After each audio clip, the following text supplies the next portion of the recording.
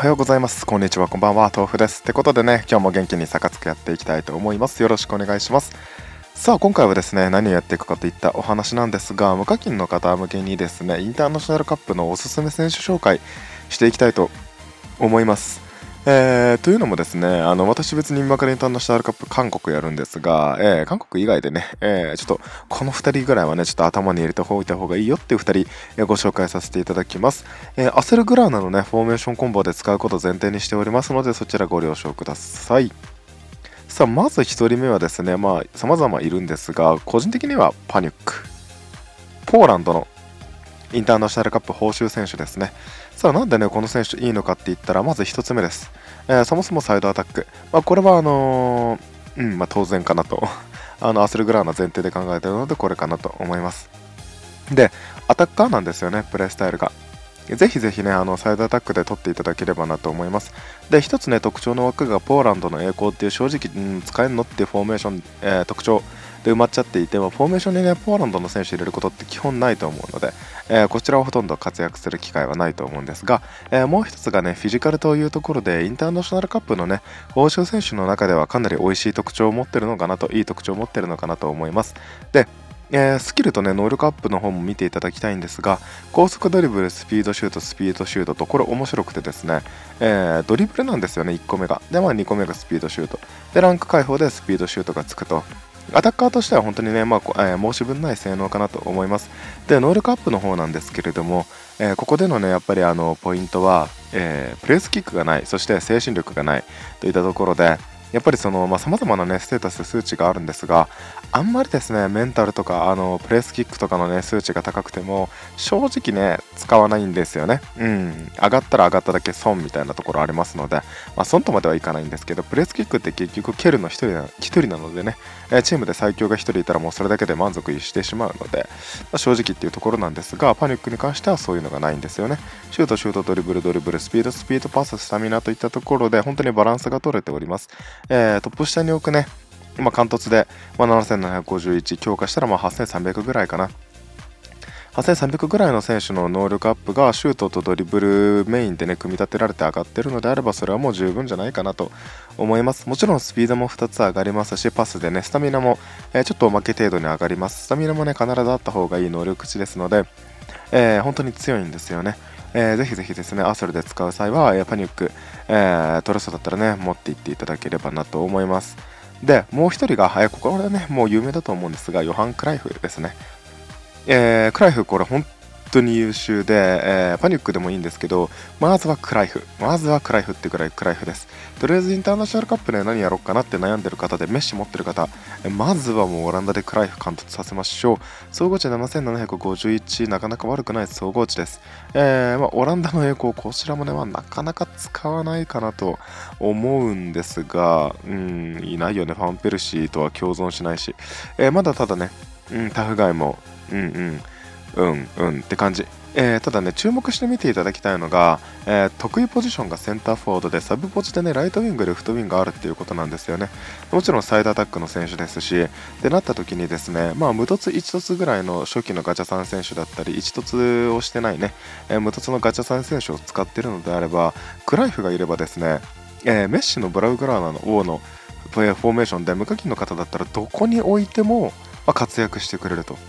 もちろんセンターフォードで起用するのが一番いいんですが、えー、ご覧の通りね、両ウィング、両サイドですね、えー、特性がありますので、サブ適性がありますので、そのサブ適性を生かしてね、えー、もちろん、あのまあ、準適正のあの一番本当のね、一番いいところほどの活躍はしないんですが、それでも十分なほどのね、えー、貫達だったら無課金にとっては十分なほどの能力値出してくれるのかなと思います。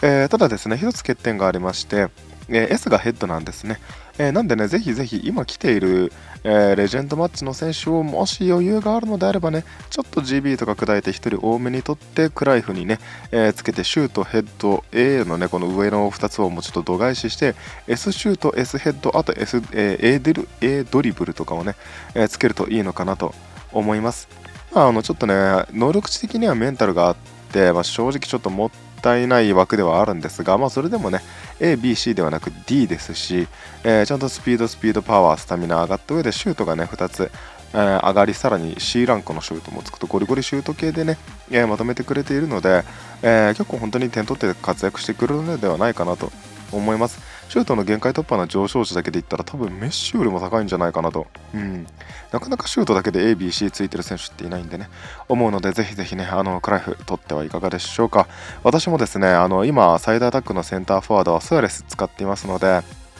本当に、えー、クライフが欲しいですね。であともう一人おすすめなんですが、えー、はいパクチソンです。何回も言います。パクチソンです。ボールリーパーと根性を持ってるんですよね。本当に優秀な選手なので、えー、ぜひぜひですね取りに行っていただければと思います。まだまだね他にもいい選手たくさんいるんですがうーんまあねもちろんその全員を取る余裕はないんですけれど、まあ、できるだけやっぱりそのフォーメーションコンボに合う選手から。で、えー、やっぱりですねまあ、今、そのブラウグラーナの王がもちろんフォーメーションコンボとしても強いですしただやっぱりその中でねブラウグラーナの王があるというところで本当に、えー、強くなってますのでアスルグラーナがね。なんでぜひぜひ今回はねこの機会に、えー、アスル取りに行くのがまあ今のところ一番いいかなと個人的には思います。なんでねぜひぜひパニッククライフ考えていただければなと思います。ってことでさあ私は何をやるかといったらこちら。韓国インターナショナルカップでございます。残りの時間はね、ちょっと韓国インターナショナルカップ、えー、皆様と一緒にやっていけたらなと思います。ソン・フンミンね、一突させて、えー、一突じゃないね、1回進化させて星5。で、イチョンヨンはね、2回進化させて星5まで持っていきました。えー、ジュチェオルとかを、ジュチェオチルとかをね、うん。本当は星5にしかしたかったんですけど、一応ね、あの、イチョンヨン、今これガチャさんなので売ったらね、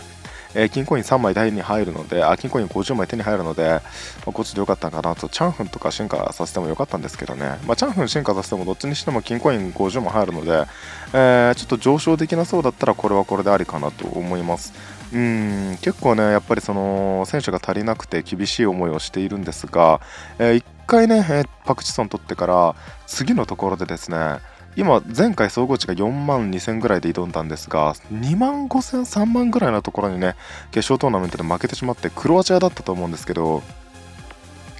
ちょっとですねあれが腹立たしかったので、えー、今回はしっかり勝たせていただきたいところでございます、えー、ちょっとねあのー、イチョンヨンのねあのー、ちょっとエブラ上げきれていなくて、まあ、そこが不安といえば不安なんですがうん、まあしょうがないんでね、えー、全部を全部望み通りにはできないのでってことでさあやっていきましょう。結構ですね、あのー、まあ、強くなってきてはいるかなとは思います、えー、総合値的にももうあのスペインドイツに負けないぐらいの総合値になってますしうん。でプライド・オブ・埼玉もですね初めはねこのフォーメーションコンボどうかなと思ってたんですが、まあ、悪くはないかなと思います。でなんでプライド・オブ・埼玉悪くないかって言ったらタックルメンタルセービングなんですよね。えお前それ弱くねって思うかもしれないんですがインターナショナルカップって結構 PK にももつれ込みませんか？結構もつれ込むんですよね私。はい。なんで、あのー、こういう PK にもつれ込む中で、えー、メンタルセービングとかをね、上げてくれるっていうのは、一つあの、まあ、インターナショナルカップならではなのかなと思います。普段のね、リーグ戦で、えー、PK 戦がなることはまずないですし、まあ、基本的に PK を見越してメンタルを取るってないんですが、えー、インターナショナルカップだとね、本当にたった1試合引き分けとかで終わって PK で負けてとかっていうのがすごくあるので、まあ、そういうところでね、メンタルであったりだとか、あとはセービングタックルっていうね、えー、かなりだからフォーメーションコンボ的には守備的なフォーメーションコンボになるのかなと個人的には思っています。タックラーが上がるっていうのもね、えー、結構いいかなと。特に韓国はあの J リーグモードで、えー、センターバック優秀な選手持ってきやすいので、まあ、ゴールキーパーもね、あの韓国の優秀な選手はいるんですが、そうやってなったらですね、結構守りはしっかり固めれるかなと。で守りしっかり固めた上で、えー、まあ、PK だとかでね、PK 戦まで行って勝てるとかっていう風でも全然選択肢とはありなのかなと思います。で、もともと総合値の上昇がね、えー、まあ80%の上昇ではあるんですが、あのー、まあ、それでもまあ正直タックル、メンタル、セービングっていうね、えー、微妙な、え上昇する場所なので、まあ、変な話ですね、あのちょっとこれブラジルとかサイドアタックで来られたらしんどいなとかっていう時には、もう普通に全然ですね、あの相手の得意戦術に合わせた、え戦術取って普通に勝ててるので、まあ、そんな気にしなくてもいいかなというのが正直なところでございます。とりあえずですね、あのー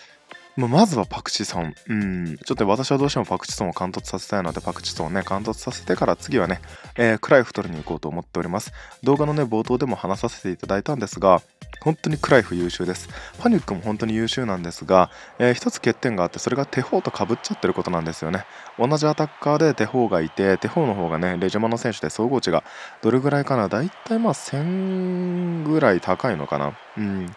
なので、意外と手法の方がいいんじゃないっていうね、うん、ところはあるんですよね。はい。ただ、あの、サイドアタックで使うってなったら、やっぱり連携線のこととかがありますので、で、手法って意外とですね、特徴微妙なんですよね。はい。手法の特徴は、よいしょ。こんな感じで、スター選手とプロ意識が高い。ってなったら、まあ、正直スター選手は本当にあってもなくても変わんない。本当に。うん、誤差。どうでもいい。で、プロ意識は、まあ、どうでもいいとまでは言わないですけど、でプロ意識はま調子が悪くても能力が落ちにくいと、悪くはないけどっていうところですよね。それだったら、ま、ポーランドのね、あのー、なんちゃらかんちゃらと、ポーランドの横だっけみたいなやつとスター選手が打ち消し合ってくれてるので、まあ、正直やっぱそこまで手法いるっていうね、あのスキルもね、パスなんですよね。でもこれはドリブルなんですけど、パスなんですよね、ここ。うん、シュートじゃないんですよね。それだったら、パスでスキルもそんな使わないし、うん、あんまり手法はそのアタッカーの中ではね、シュートが C しか上がらなくて、シュートに結構触れてない、ま、ドリブルパス特化系の選手ではあるんですが、ま、そうやって考えたらですね、ま、全然あのパニックでいいんじゃないかなと、特にサイドアタックでしたら、えー、総合値の差がだいたい9084と8345、まあ、700ぐらい違うのかなと思います。なんでね、えー、ちょっとね、手法、余裕がある方はね、ぜひぜひ手法も変えていただければなと思います。えー、絶対その方がね、チーム的には強くなりますし、連携線がね、しっかりつながることもやっぱり大きなところかなと思いますので、ご一個いただければと思います。ってことで、ここまでご視聴ありがとうございました。まあ、とりあえず私はね、えー、韓国、えー、感動させてね、まあ、あのー、そこから行こうと思いますので、えー、ぜひぜひね、悩んでる方とかね、どれやろうとか思ってる方は、クライフパニック取りに行っていただければと思います。ってことで、豆腐でした。バイバイ。ここまでご視聴ありがとうございました。チャンネル登録を済みでない方はグッドボタンを押してないよって方はね、ぜひぜひやっていただけると私の励みになりますのでお願いいたします。もしよろしかったら次の動画もね、見てってください。それでは皆様の良きゲームライフを祈っております。豆腐でした。バイバイ。